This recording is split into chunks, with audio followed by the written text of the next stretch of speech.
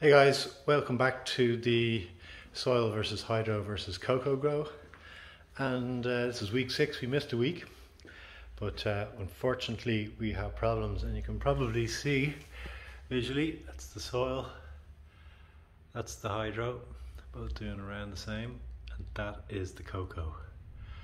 And last week we did a flush on the coco and although you can't see them in the flushed water now there was a ton of larvae fungus gnats. And they've been getting at the roots which is why we've had some slow development here. They are still in the soil which you can see them there wriggling around in them. There is tons of them. And uh, a few flies flying around. They were um, they were getting into the side of the air pots and if you tap the pot you'd see all the flies uh, taken off. So they're laying their eggs in there. So we wrapped this around and uh, covered the soil to stop. Um, we've used this stuff uh, which is a mild uh, pesticide. But we're, we're, actually waiting for uh, Tanlin which we know can deal with these fungus gnats.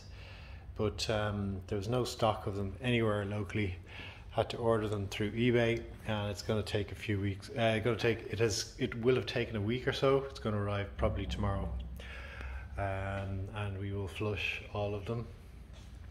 The soil has a little signs, but nowhere near the same activity. Um, let's see now in the soil here. I can't see any in that shot. There is a few, a few knocking around though the soil, but as you can see with the development, the um, the soil's doing pretty good. Hydro's doing great, and uh, coco unfortunately is just a completely different ball game. Um, see here with the hydro, decent colour on the leaves. We're paling a little bit, so we've upped the uh, the feed regime a little bit. The nutrients, uh, good root structure. This is week six now, so uh, yeah, they're doing well. No sign of the fungus gnats in there, thankfully.